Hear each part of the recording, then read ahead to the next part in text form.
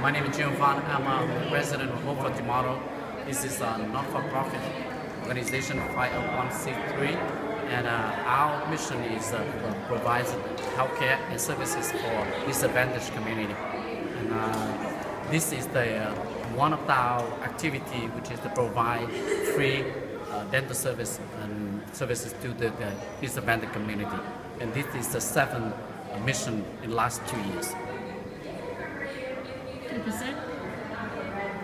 Yeah, besides, uh, additionally, uh, actually our organization also uh, perform the same uh, human services to internationally, uh, mostly in Southeast Asia.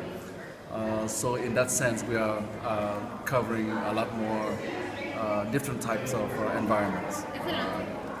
Thank you, sir. Uh, what we've done today is, as you can see, it's a free dental clinic day here, and it's hosted by Hope for Tomorrow. And for today's event, we have over 100 volunteers. That's including doctors as well as um, college students, as, as young students as well, and non-doctors. Um, one of these events, normally we have about 200 patients for the day, and we do between 8 and 3 p.m. in the afternoon. Our very next event is going to be scheduled for October the 17th, and that is going to be in Falls Church, and we can provide uh, additional information regarding to the address later. Um, on average, we do about four of these events a year in the Northern Virginia area, D.C., and Maryland. I thank you so much. Ah, one more thing. Um, the event is completely free.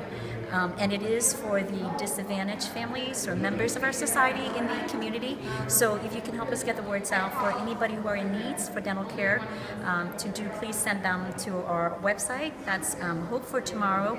Um, it's hftusa.org. Thank you. Thank you so much.